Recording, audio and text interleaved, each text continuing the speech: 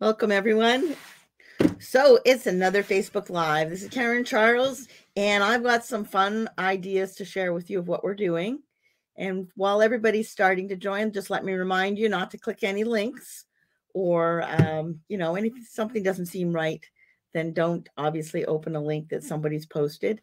And uh, we've got some things that I'm going to be talking about today, and you can find the product numbers listed up above. And Amy is here she is going to be leading this and helping me to um, understand what questions are out there.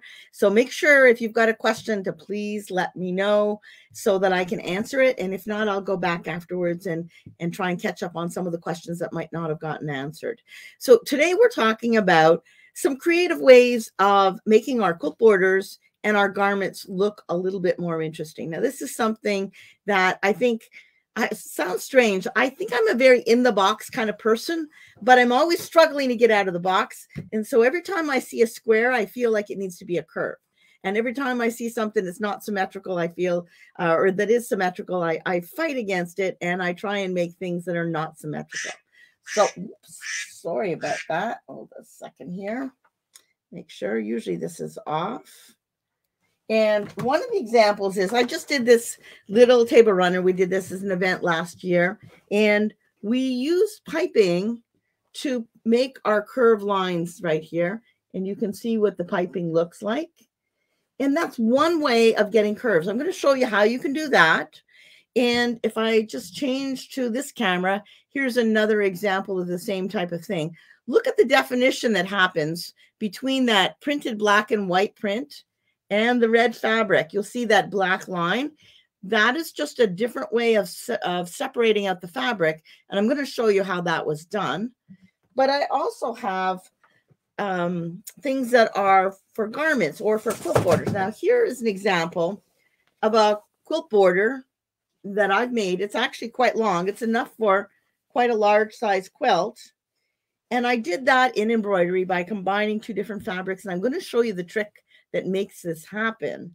But before we do that, I'm going to show you how we can do this kind of thing in sewing. Because every time I do a Facebook Live, I try and show you some ways you can do it in sewing and then how you can do things in embroidery.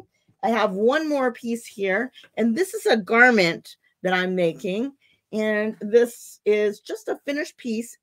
Right now, I've kind of made the pattern, but I haven't uh, cut out the, pa- the pattern piece yet. So all I've done is join the two pieces together and done the embroidery, but I haven't um, I haven't actually cut out the pattern piece. That will be what I'll do next.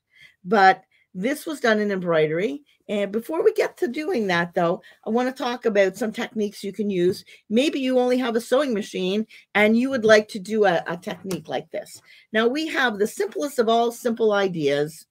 All right here is a shape where you can get a curve.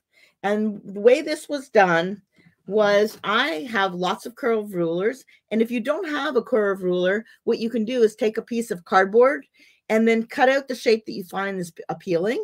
And you can use that the same way. But I love to have a few different shapes of, of rulers like this. This one's got more of an open curve and then a smaller, more in-depth curve. But there's all kinds of different rulers out there. And there's no specific ruler. There's not a right or a wrong ruler. But here's an example of how I just took that line and I drew it. Now, once I've drawn that line, what I'm going to do is I'm going to put another fabric behind it. And in this case, I have this pink fabric behind it. And I'm just going to sew on the straight line that I've drawn. And after I've sewn on that line, what I want to do is cut away the extra fabric that brings me up to that curve. Now, it is always easier when you're doing this to not just lay the fabric one on top of the other, because what will happen is they're, uh, they're going to move. So you need to stabilize them in some way. In this case, you can see that I have back here about two and a half inches underneath there. So I could do a basting stitch on either side to stop it to move.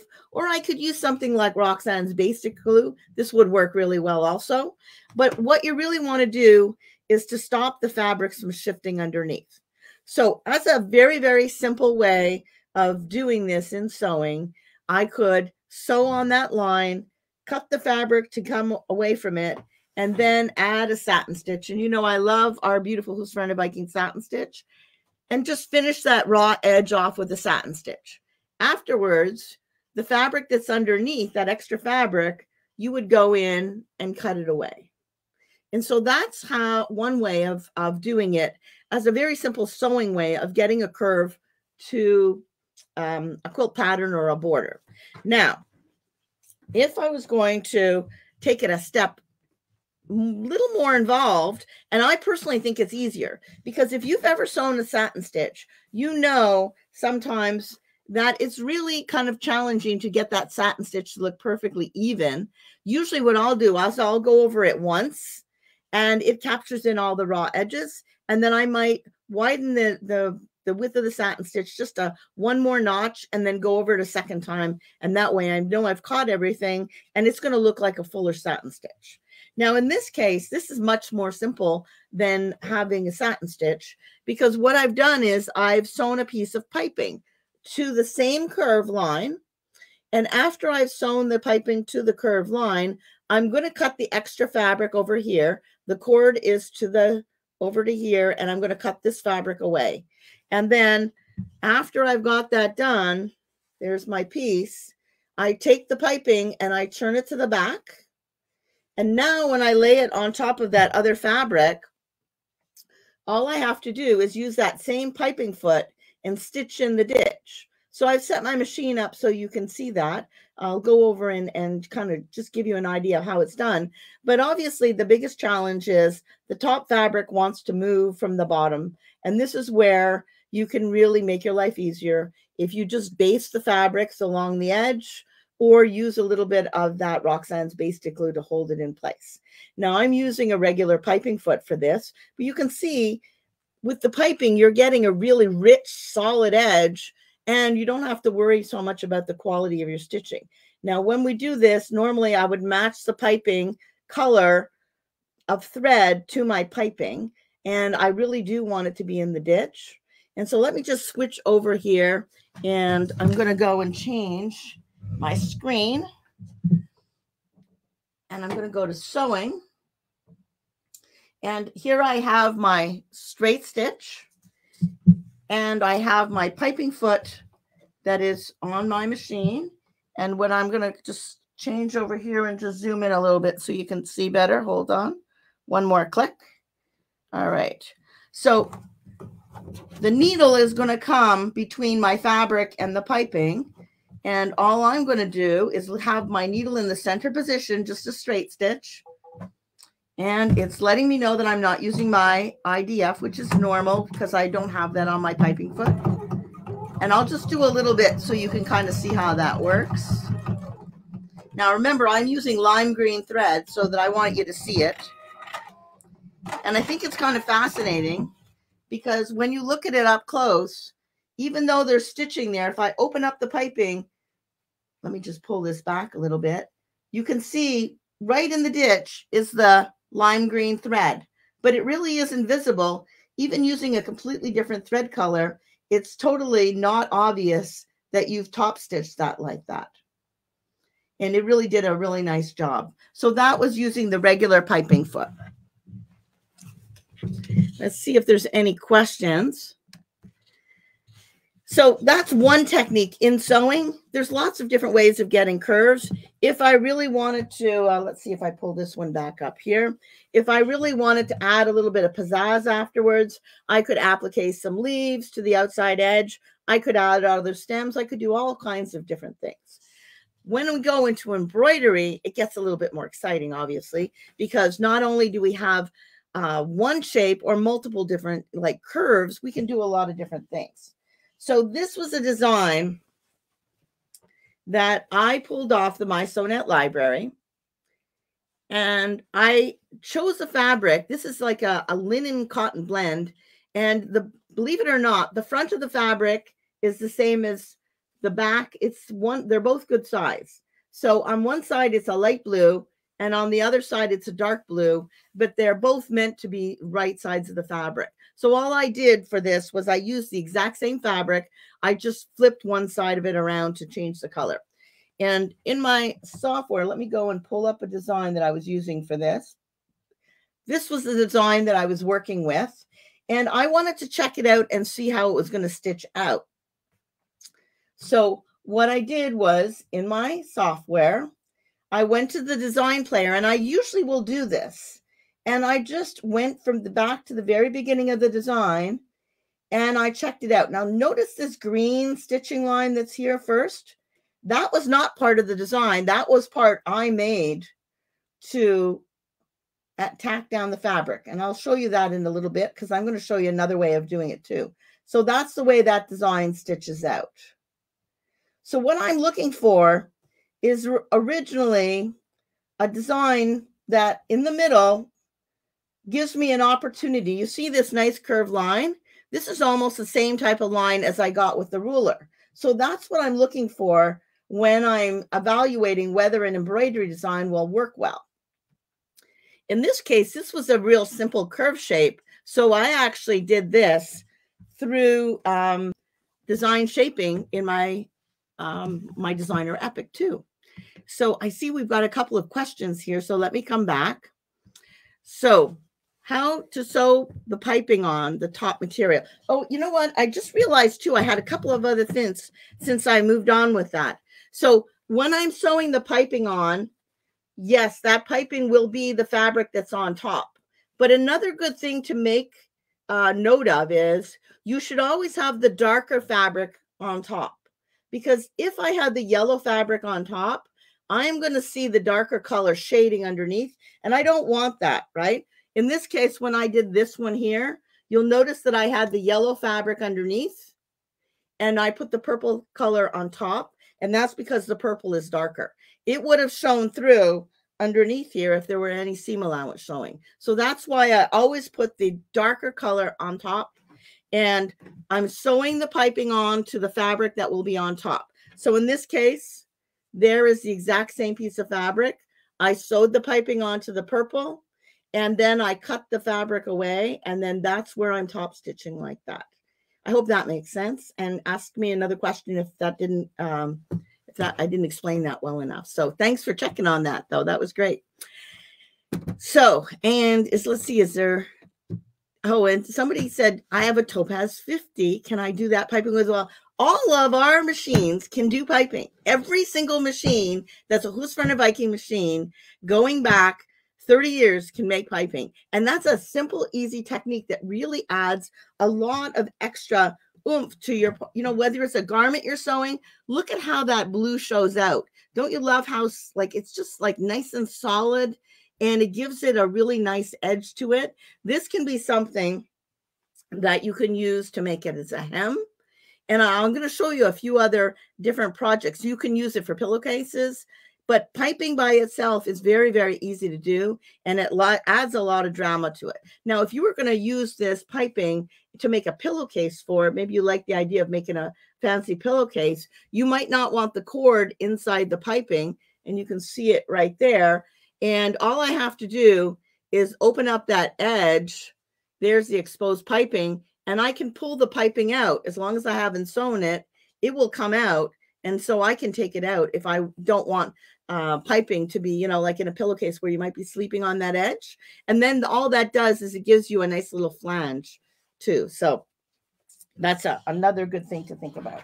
Now, when it comes to a design like this, I'm using much, much wider fabrics. And so that changes it up too. One of the things that you're thinking about if you're going to embroider uh-huh. is what hoop are you going to use? So if you're using something that's narrow, like something like a quilt border, then the endless hoop works really well. The mega endless hoop is a perfect hoop to use for that because it's a continuous design. But let's go back to that original design that I was talking about, this one right here. So I sent that to my Epic 2, and I did not have that lime green design that was underneath it. I'm going to go over there to my machine and let's get back in focus so that you can see what we're going to be doing in, in our embroidery machine. All right. So I'm just going to zoom out a little bit. Now, right now, there is that same design. And all it is, is you'll see all of the stitching you see is the main part of the design. But I wanted to get a design that would tack that two different fabrics together. And so what I did was I created a line of stitching by going into design shaping. Now, design shaping, you'll find on many of our machines, the Sapphire 85, the uh, Designer Diamond Royale, the Epics and the Ruby 90 and the Epic 2, they all have design shaping. And what I'm going to do is go down to the bottom where this little star in the circle is. And I'm going to choose a shape. And the shape I'm going to choose is a wave shape. So if I look at this design right now, and actually I think I'm going to come out and I'm going to just mirror image this design. Let's mirror image it the other way. All right. Now when I come back in, I deselected it and I'm going to choose the same wave. And I'm going to rotate that wave so it's going in the same direction. So you can kind of see that there's a real similarity to the size of that. Now, right now, there's no stitches. All I'm doing is creating the shape. And I'm looking for a shape that's exactly the same as that center line. If I want to make that line a little bit thinner, then what I'm going to do is go to scale and I'm going to unlock the little padlock and now I can drag it in and make that line a little thinner. So what do you think? It's getting pretty close to that shape of that line, isn't it? I mean, it's almost perfect. And I can just adjust it a little bit more. And if I need to rotate it, I can also rotate it too. So right now, all I have is that line. And to add stitches to that line, I'm going to go up to my zigzag, which is my sewing stitches. And I'm going to use a triple stitch because the triple stitch is going to be reinforced and it'll give me a much stronger seam so that when I cut away the extra fabric, it won't ravel on me. So right now I have, oh, I didn't even load it. Let me load it. I get too busy talking.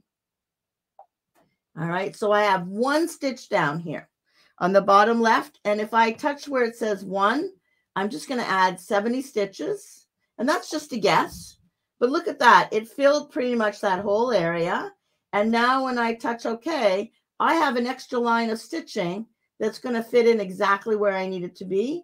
And if I probably might need to rotate the line. Oh, look at that. That's just about perfect. So move it over here a little bit. So now I have a line of stitching that goes underneath the first one that I did. The only thing I need to do is change the stitch out order so that that line will stitch first.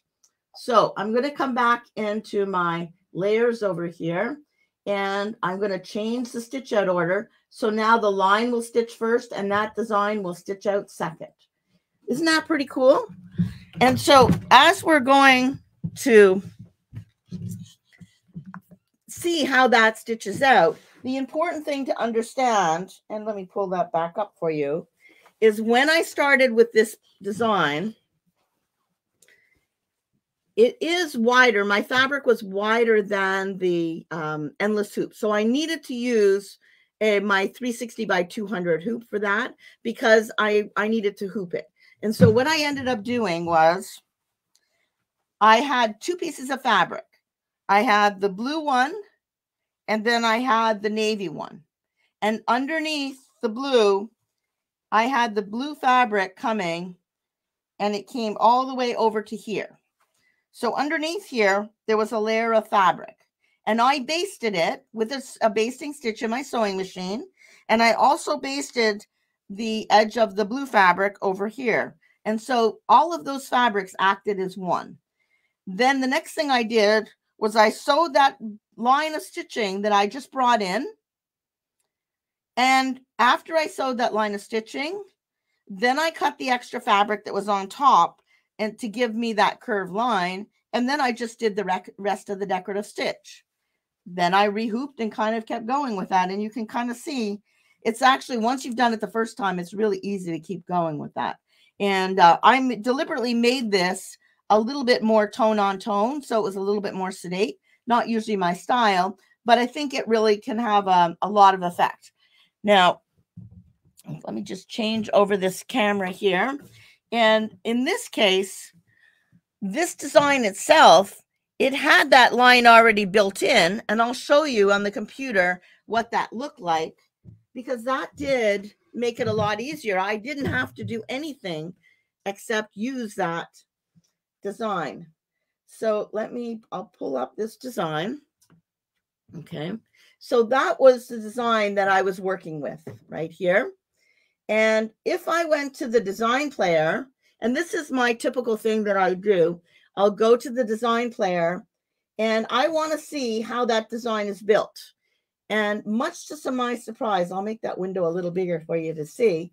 Much to my surprise, is when I started to look at it, the very first thing it did was bring me this outline.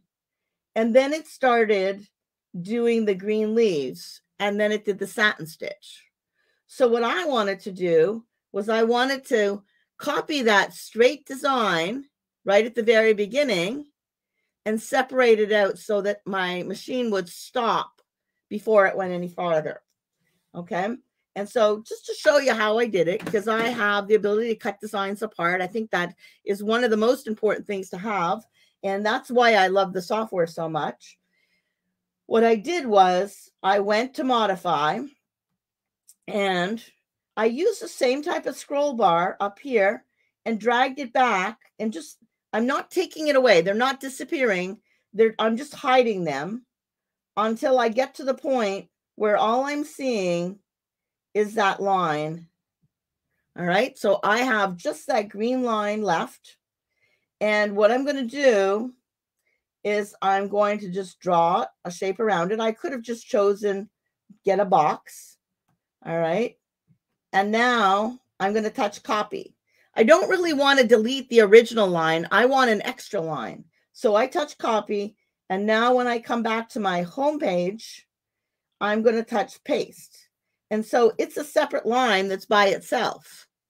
Now, all I have to do is change the color so it doesn't color sort when I go in and um, join the whole design together. Let's make it blue so you'll be able to see it well. All right. And I'm going to move it back to the original placement for it. And I'll zoom in so you can see exactly where that's going.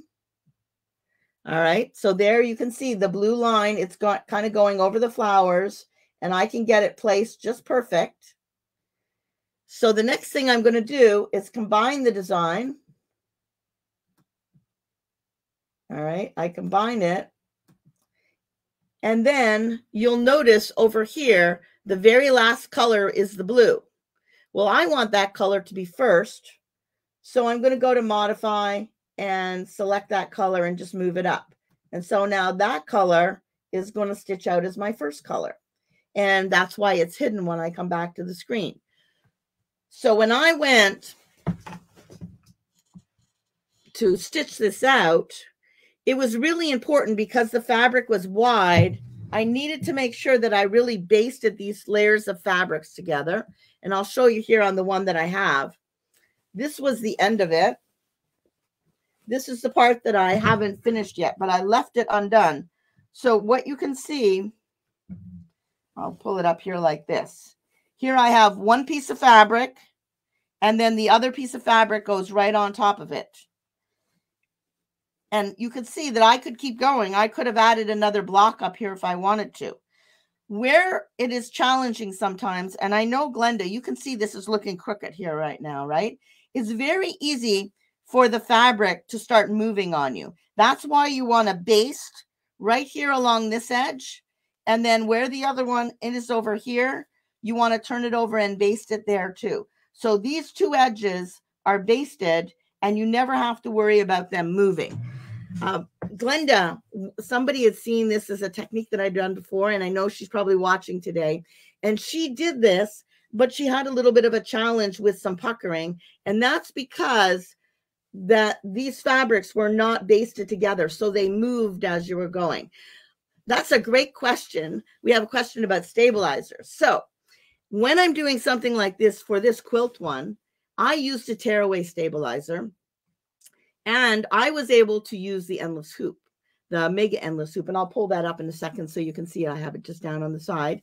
And uh, it was really easy to do and very fast to do because the design fit into the endless hoop. And I lined this purple fabric up with the edge of that endless hoop, and it kept me straight as I was going. And I thought in the beginning, when I did the first one, I've actually done four of these. When I did the first one, I thought that I, I probably didn't need to base because I was using the endless hoop. It would keep me straight. But it's amazing how our eyes can fool us. And really, the only way of making sure that that fabric stays continuously even is to give those two pieces of fabric a base. Uh, is uh, is to um, base them before you start. When I was doing something like this for the quilt, using the tearaway made a lot of sense. First of all, tearaway is cheaper, and honestly, you can see on the back it tore completely away. There's no obvious tearaway anywhere here at all. But when I came to working with my jacket, it was a little bit different uh, because this fabric was a little bit slipperier and I was worried about it moving more. So I chose to use a um, stick on tearaway because I thought it would hold the fabric in place. Did a really nice job of doing that. And most of it tore away, but there was some that's left in there that hasn't torn away at all. And so usually when I'm working with a garment, I much prefer, especially if a garment like a jacket where you might see both sides, right? If I this, if you wanted to see inside, you don't want to see tearaway. So I, it's the one time where I usually will use the Aqua Magic Plus, which is a sticky. It will have your fabric will stick to it, but then when you're done, the stabilizer goes right away and it helps the fabric to relax too. You don't want to be able to see this on the inside of your garment. Now, eventually this is going to wash away um, but it's still I I use this um, tearaway because I thought it would be easier for you to be able to see the stabilizer where it was staying. You could almost see how nice that would be if it was an applique design, right? So when you're thinking about your stabilizer, it depends upon what you're using. If it's a garment and you want the inside and outside to both look nice, the Aqua Magic Plus is a perfect choice for that. The regular Aqua Magic is all right, but it's not really strong enough because the fabric tends to shift more. So in this is the one case where I really would recommend the Plus because it is fusible. And I'm not fusible, but sticky. And so it's going to hold your fabric and stop it from shifting as you're going. Let's see, we've got 327 here. We still got plenty of time to do this. Is there any other questions that anybody has? Now let's look at a few other designs while we're waiting to see if there's any other questions. And I want you to look at when I'm choosing a design, what type of design would work really well from this. So if I go to my Sewnet library, all right, let me just log in here. I'm going to put in my Sewnet library. And I'm going to choose, let me see here. I'm going to choose a design. Now, I if I put in endless, that's a really good option because I know that uh, an endless design is probably going to have the kind of curve that I'm looking for and the continuous. I can even get in endless with corners, but I'm not going to do that. And so you can see the very first design was the one that I used for the garment I'm making. But there are a lot of other designs in here that might be really appropriate. And sometimes you just got to scroll through them to find something you're looking for.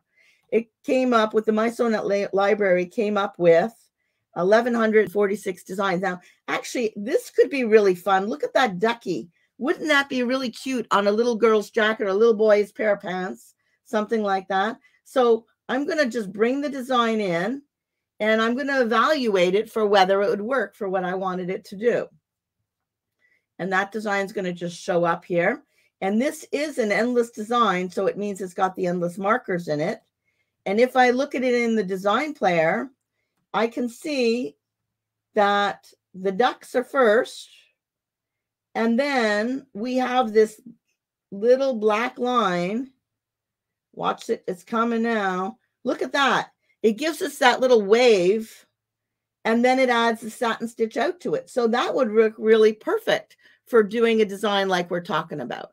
Because as long as we have that opportunity to separate something out to be able to lay the fabric down, that's all it's going to take. So just to show you, like I just randomly chose this design and I'm going to go into modify. I'm going to scroll to the part, get rid of the duckies. All right. And get rid of the satin stitch. All I want left is that just straight little black line. All right. Where is that straight little black line? It's in there somewhere. All right. Hold on a second here. Let me get my mouse. So I can also touch, and you'll see it's adding in the lines. I can touch the minus and it'll add them in, but this scroll bar adds them in a little bit quicker. Wait a second. I need to move back this way. All right. So if I look at that and I zoom in on it closely, I can see what it's going to look like. So you can see there's the satin stitch. And just by going back a little bit the other way, I can see the design the way that it's going to stitch out. Let me just see if I could get that out there. So what I'm looking for is just to have that straight line that's there. So I would click stitch by stitch and find that area. And I won't take any more time to do it, but imagine how cute that design could be. So there's a lot of designs like that that would give you a very obvious straight line for you to be working with. Okay, so let's come back to the idea of what size shape that we have here. This could be waves. It could be a garment. It could be just about anything. When you're thinking about how the how the design is going to work for you, sometimes you want to think about how you would use the design. There was another design, and the one the collection that this came from, this is called Madeira. And so it is, they're all endless designs, but it's called Madeira. So if you were to go back and you would look up in the My Sewnet Library Madeira, it would bring you, I think there's like 13 or 14 different designs that would all work like this. Another one that worked like that, and I'll show you right here. I thought this could be a really fun design because when I look at it, I'm thinking that that bottom part is grass. So as I scroll back, look at, do you see that nice firm line that's there? So that one is going to be really easy to cut that line and copy it. And imagine if I was making a garment for this and the green, I would have green fabric underneath. And then in the skirt, I could have a print, uh, I could have a, you know, blue fabric or any other color I wanted to. Because it's an endless design and it's a large one, it would really stitch out pretty quickly. And the only thing that would really matter for me is just choosing my fabric. Really, that's what it's all about. So every time you look at a design, if you cannot find an obvious place where the stitches already exist, then you can make your stitches yourself. You can bring um, the stitches into digitizing and create your own curved lines, or you can go into modify and cut part of the design apart like that. But it isn't harder. Everything is easier when it comes to that type of a design. Even in design shaping, the way that I added that curved line and it, the shaping of it, uh, that could be anything. Instead, I could have it going and curve this way here, and I can combine different types of lines to make that happen. So if you're looking at, let's go back and look at this here. All right. And you can see, you don't see any raw edges anywhere. The satin stitch completely covered up the raw edge. And because it's covered in with the leaves and the flowers, that did a really great job of um, covering it up and keeping that fabric strong so that you don't have to worry about it falling apart. And as it was a quilt, I'm going to pull this over here. If this was a quilt, you would want to, the next thing you'd want to think about is if you're going to use this for a quilt border, how are you going to miter the corners so that this will fit together for a quilt? Okay. So if this was one side, and now I have the other one over here, I'll pull it up. I'm making this look awkward. Sorry about that. All right. So here is my quilt top, right? And if I wanted to miter this so that it would be the same, I'd have to think about what it would look like. So the quilt border has a little bit extra things to think about that you don't have to think about if you are, let me see. Oh, I got the wrong side over here. Sorry about this. I see everything backwards. Okay. So how would you miter this corner so that you would get that 45 degree angle, right? And make it look right. Now, this is not right. You've got to have the white part up here. So what I usually do is on my wall back over here, I take it and I pinned it to see what it would look like. All right. And then I could see, obviously, I'm doing a terrible job. Let me go and pin it, okay? Because then I think it's going to make more sense to you. So if I take this, all right, let's say this is my border.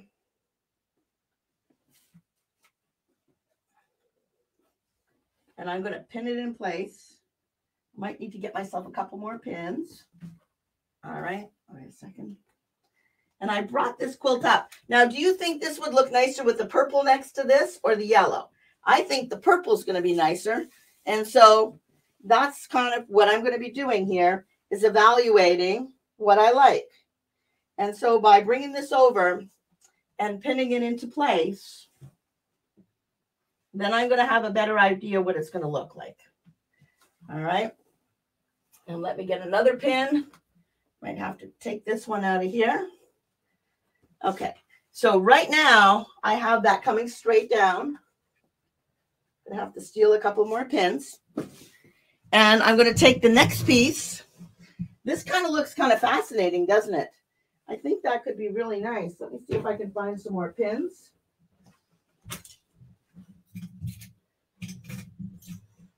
Okay. Now, if this was going over here, I had this purple border, and this was coming here, how would I line it up?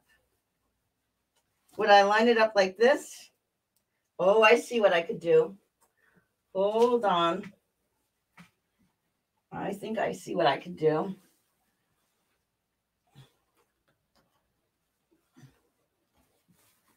Let me just get that out of the way there. So this is going to come back like this at a 45 degree angle. This is going to come over here. Now, I'd have to move it down, but look at how nice this would be if it came over here. So basically, this part right here would have to come down, and I can make that happen really quickly. Okay. So that's what you got to figure out before you go too far when you're doing something like this how are you going to make it work? Okay. So let me just tuck that behind. So as you're figuring this out, I can see that this is coming here. Next time I'm going to plan this out a lot better because it would be really kind of cool. So look at that shape that you're getting happening here. Right there, like that. Now, you don't know what this is going to look like until you start figuring it out and laying it out. So there's a really very, very small place where you've got to stop. So see how I continued on here? I wouldn't want to have anything beyond that point. So it's always kind of weird when you're figuring it out how you're going to lay it out. So the first two points, when you get one piece and another, then you got to figure out how they're going to go together because you can see there's a right way and a wrong way. If you don't know, the only way of doing this is usually what I do is just lay them out and I will get that folded back at a 45 degree angle and I'll check to see what would be the way that they would intersect. But what isn't a beautiful border that you could put on a quilt? or a garment or anything else you're making, right? A pillowcase. It would be just beautiful. It just adds so much dimension to it and it's so different. Let's see. So um, one of the questions is, at what point are you cutting away the top fabric from the curve? What you're doing is when you have the first part of the design, and let me go back to, uh, let me see. All right, let me come back to here. So when you're stitching this out, the very first design that we're going to do, all right, is going to be that outline. So I'm going to go back to the very first color. So this is going to be the very first design that I have to work with. So it's going to stitch both layers of the fabric together. And right when this is finished, this is when you're going to cut the fabric away from the curve. Because if you wait any longer, then then you're going to have the satin stitch that's going to come over right now look at there's another triple stitch And now you've got the satin stitch, and it's a regular satin stitch. It kind of looks like grass, which is kind of cool. So if you can't wait till this point, you have to cut that away when all you have is that outline that's there, because that's when you're going to get an opportunity to get the raw edge in there, and it will be a lot easier to get close to that fabric. And then the satin stitch is next. And then you've got the rest of the design just stitches out like normal. So I'll pull one of them down and I'll show you what I'm talking about when you're up close. Okay. So here you can see the design that's done and the purple was on top and the yellow, I cut it away. Now, when I was working on this, all right, the yellow was coming out here. And when it did the first outline around it, then I cut away the extra yellow fabric. But underneath that fabric, that yellow was, and the purple was still down there. So afterwards, I'm going to go back in and I'm going to trim it away. So you can trim the extra fabric from the back and also from the front. And you'll see that also. Let me show you kind of with, with this type of thing, right? Here's an example of kind of what it looks like. The very first thing it's doing is it's anchoring the two fabrics together. Then you cut away the purple fabric from here. And underneath, you're going to have an extra layer of the yellow fabric to cut away. That's just giving you more fabric to work with. So the fabric's not going to waste. But that's kind of what's happening. Then with the embroidery design, after you get that anchored, then it's going to do the rest of the design. And then with an endless design, you're just going to continue going and keep on rehooping and rehooping and going all the way. Now, here's my endless design, my endless hoop. So when I was working with the endless hoop, it was just a matter of instead of having all those different layers, I could open it up and I could bring my fabric in. Now, the purple fabric was over here like this. All right.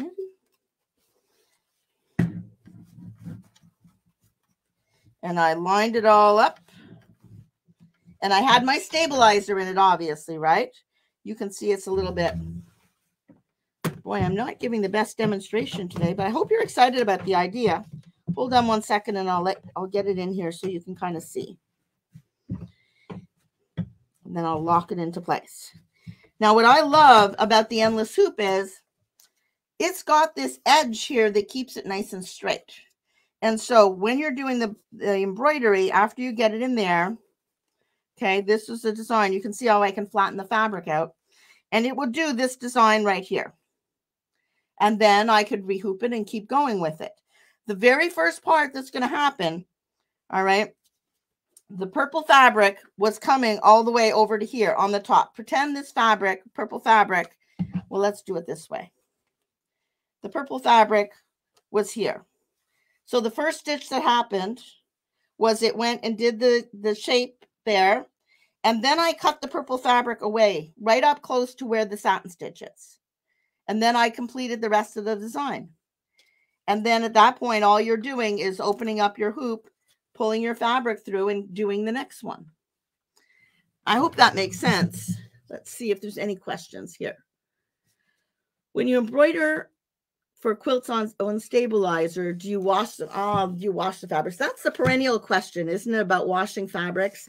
I personally do not like to wash fabrics. When I'm quilting, when I'm doing anything, I prefer not to wash them. And the reason why is they have so much sizing in there that it makes them easier to work with. And it also kind of keeps it relatively straight on the grain. When you go and you wash them, they tend to get twisted. There's a lot more ironing that's involved, and you've got to try and get them back into shape. The way I look at it is if I'm going to use this and I am going to iron it, I might use some best press or you know, some kind of a starch or something like that as I'm working with it, each time I'm ironing it, it probably is shrinking the tiniest little bit. But for me, that doesn't matter because it's so much easier to work with this fabric.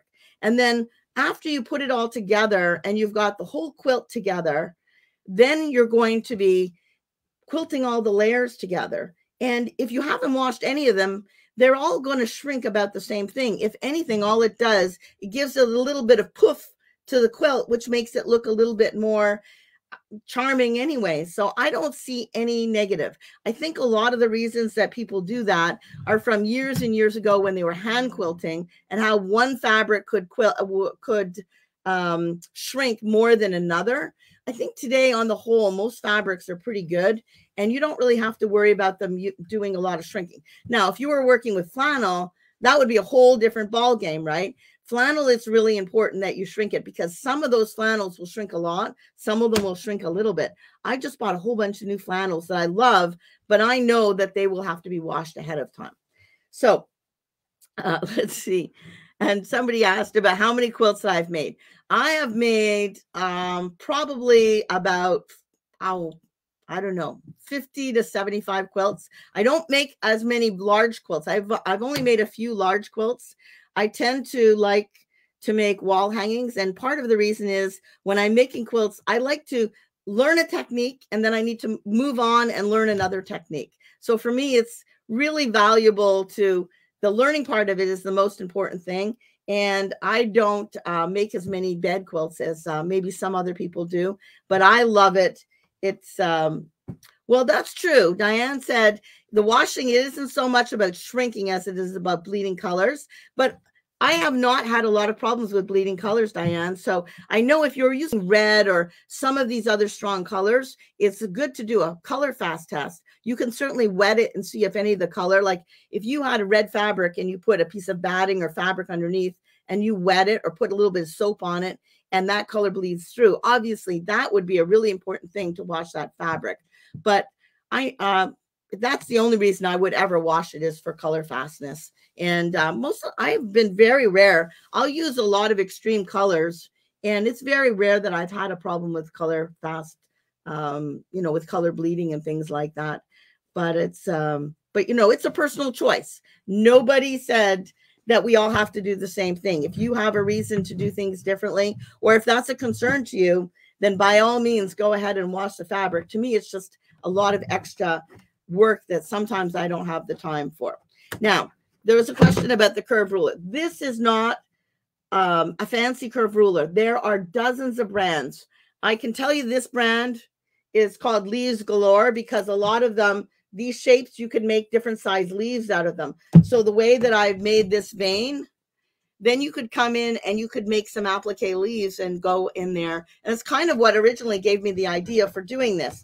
But there are dozens and dozens of different rulers. Some of them, most of them will have two different shapes of curves, one that's more gentle and one that's a little bit more aggressive. But they're easy to find. You can get them at quilt stores and craft stores all over the place. So don't worry about that at all. So my uh, question, my what is my favorite sta uh, stabilizer when using to embroider quilts? Almost always, I'm going to use a tearaway. I don't need to use anything really um, beyond that because a tearaway, I use the regular tearaway though. It's got nice firmness to it. And look at how gorgeous that is. I didn't do any extra pressing. On the back, the stabilizer comes completely away. But what I like about that is in the flowers themselves, that tearaway is going to stay in there and it gives it a little extra body. And I think that really does encourage uh, a little bit nicer um, pressing and it, it gives it holds up well when you're using it. And uh, the tearaway is mostly what I, I use. There's no need to use something that's going to stay in there.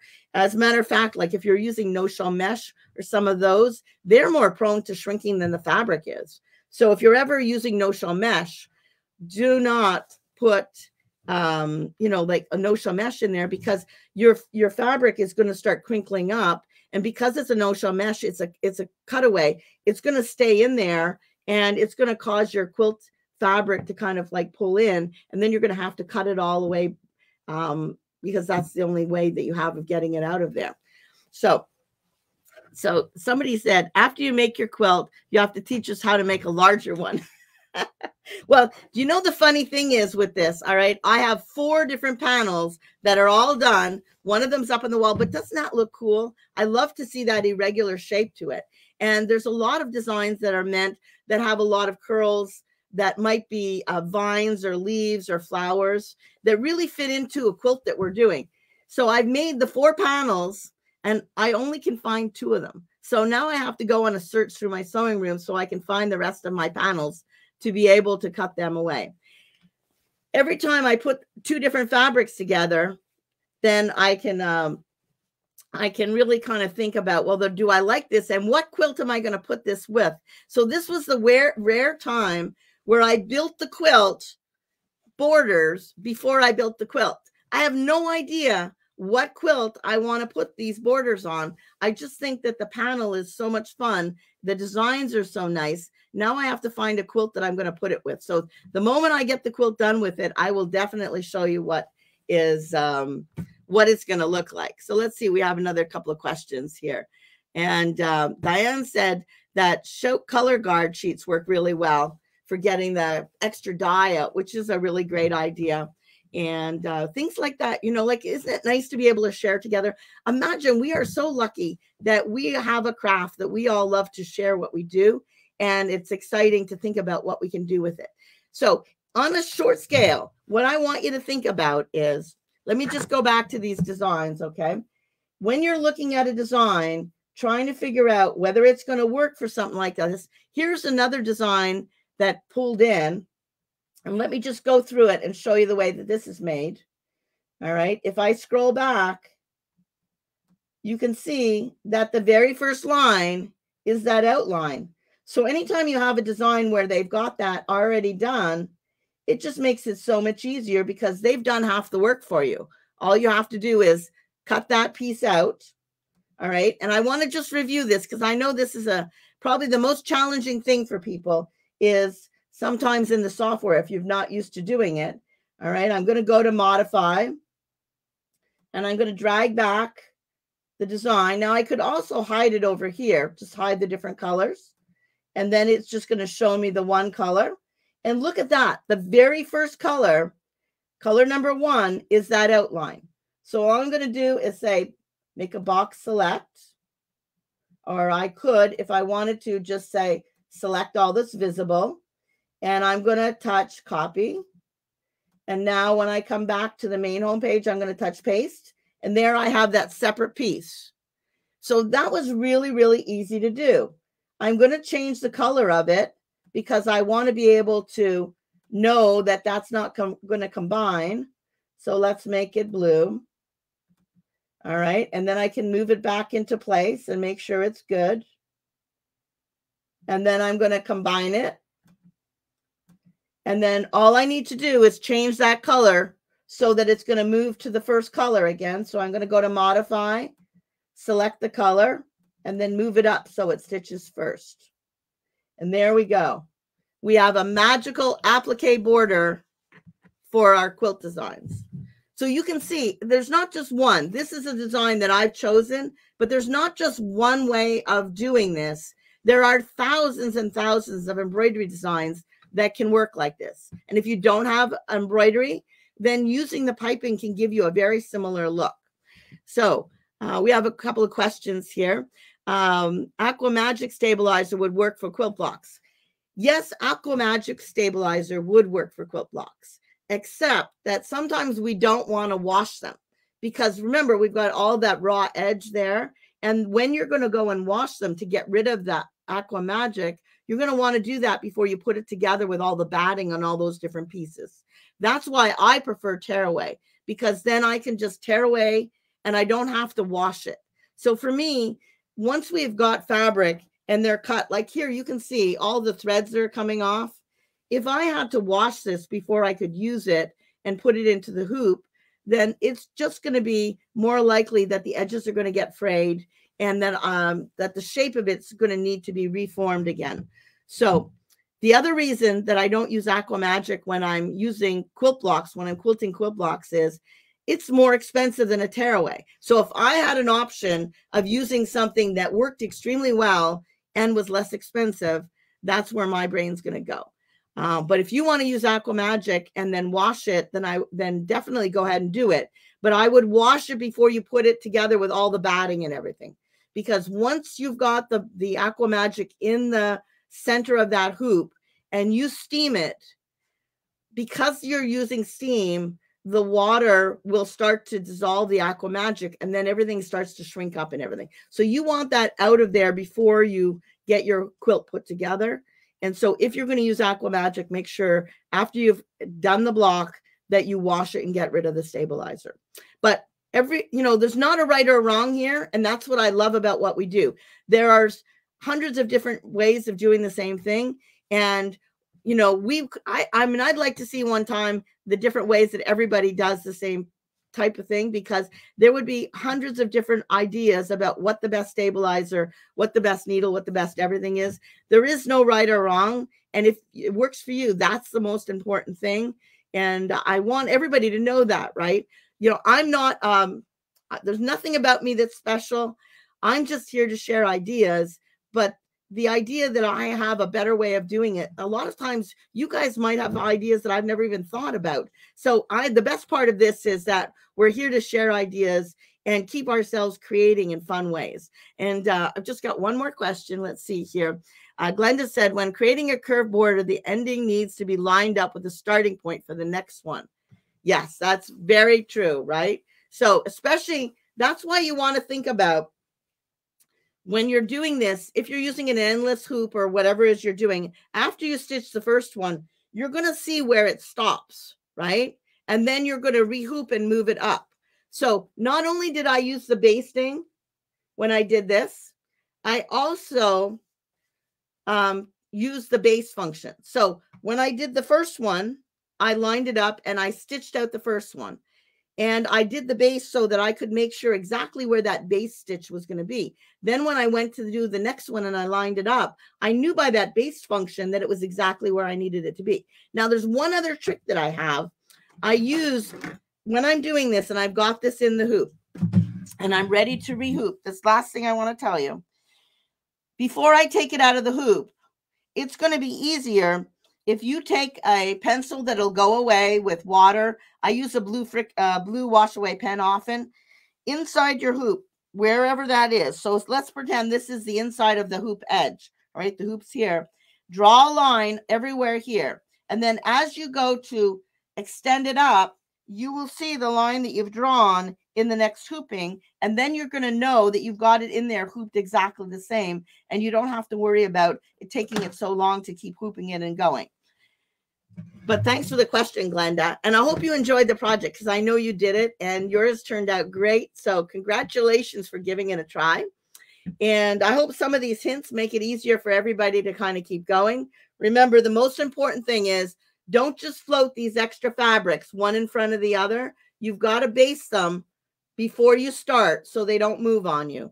That is absolutely the only way this is going to work out. And when you look at the jacket here, Okay. Look at how fun this could be. This could be the bottom of a skirt. It could be the bottom of a, you know, a jacket. It could be that you're going to make yourself a skirt and you want those two different colors together. Look at what an amazing um, look that you would get. It would look very complicated, but very, very easy to do. So before we everybody goes, I just want to give, and I hope I've asked everybody's questions. And if there's something I've missed or didn't explain well, apparently I have trouble hanging things and getting 45 degrees done without um, I should have what I should have done would been put that up ahead of time and then I could taken it down to show you after it was all done. Um, there is a next Facebook Live Wednesday, August 17th, and Wendy is going to do it. And Wendy is a new educator. I hope you tune in to see her because she's a lot of fun, got a great sense of humor. And um, then the next Sewnet Facebook Live is Wednesday, August 10th, and Mickey's doing that and that's two o'clock Central Time, three o'clock Eastern Time. So thank you all for joining, and I hope you give it a try and try something new. And if there's something I didn't explain well enough, I'll go back and and try and add in some pictures or something else. So thanks for joining me. I really appreciate it. It's been wonderful.